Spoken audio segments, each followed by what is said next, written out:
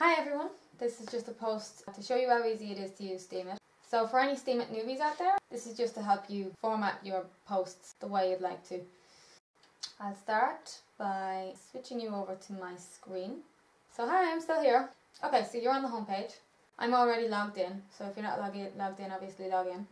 We're going to go into submit a story and this is where you write your post. Um, first thing I want to show you is if you start typing here you can see it come up here at the top and it also comes up down here on the preview. So if you're writing a blog post you're going to start off with a heading and then let's say you wanted to do a subheading. Obviously you want these two to be two different sizes so all you have to do if you want to make this much bigger, this is heading 1 and look how much bigger it got down here. Okay so it's just hashtag and space. Your subheading, same thing, double it. So you've got two hashtags, space and see what it did? If I go three hashtags, I can type slightly smaller text. Let's say you just want to type something into italics or bold. So it's very simple. Something in italics and something in bold. Star, star, there you are, something is now in italics. You see it down here?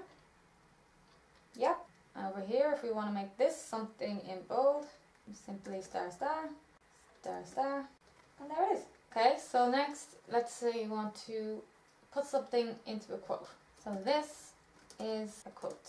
As you type in the little arrow at the top, it instantly turns the second line into a quote. So simple. Next, if you want to link something. Uh, this one is a little harder to remember. I'm going to make the word link into link to a website. So first let's get a link. Let's use this website here, imgur.com. I'll tell you a little more about it in a moment. So we're going to paste this link here. We're going to put the link in brackets. Then outside the link, put the word link into box brackets. The word representing your link, you put it in box brackets. The actual link, you put it in ordinary brackets. So that's the link. Let's say I wanted to link somebody to my page instead. This is my page. You could just put in at beanz and see the way that it comes up blue like a link? So that would bring you to my page anyway. But you can make that look better. And take out the at sign by putting at beanz into brackets and putting page or whatever word you want to use to link into box brackets. So I could change this word obviously to beans. I could say my name is beans. That's how you link. It's getting chilly. So say you want to attach an image. So looking at this it doesn't look that easy. You can't actually upload an image. I'll show you what you have to do if you want to upload an image. So, so the first one is a picture from Facebook. So we'll show you that first. So we're going to go into Facebook. I already have a picture here that uh, I want to upload. So first thing I have to do is I have to right click on the picture. This is unfortunately in Italian, but what that says is copy link of image or copy image link. So you click that.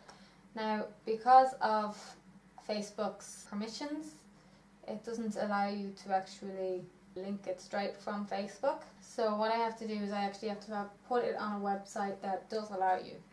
Like if I try to link this straight to here, see how it doesn't come up? So Imgur is the website that's going to allow you to share your Facebook post. Imgur is just an example of a website that my brother rec recommended. I'm sure there's more that you could use, but um, I find this one quite simple because you don't even actually have to register an account. It's basically all you do from your homepage. So you can just put your URL in here, which is what you just copied from your picture, and instantly it takes the picture from Facebook. Once the whole thing is uploaded, it go back into my images, click on the last one, and we do the same thing again, except this time it's going to allow us. So copy link of image. And I'm going to paste it here. And look what happened. Magic. So that's how you post them from Facebook. What if I have a picture on my phone that I want to attach? So we actually have to do the exact same thing again. So I have a bunch of screenshots that I took from making this video. Go into new post. So Here's a bunch of pictures that I want to use for this post. You could have the folder from your phone open Um, I simply select the pictures that I want, drag them onto the page, and that is so fast. Now I should go down the list and make sure that all of them have uploaded. And then I go back into my images and I pick one that I want. So here's an image I wanted. Copy image link, back out, paste, and there's my image. I'm sure it will get easier.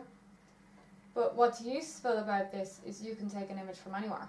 Being aware of copyright, so you can't claim an image that's not yours to be yours and make money off it. Sometimes you might just have to say that it's not yours. It doesn't belong to you. Easy peasy. Now, so this is a video that I either liked or uploaded. Um, we're going to use one of mine. So this is a video I was making earlier. So this is quite similar to how we do it on Facebook. It's really, really easy. Scrolling down from the video, going to share. There's your link. Copy that and paste. Down to preview and there it is. I can even play that in my preview. So,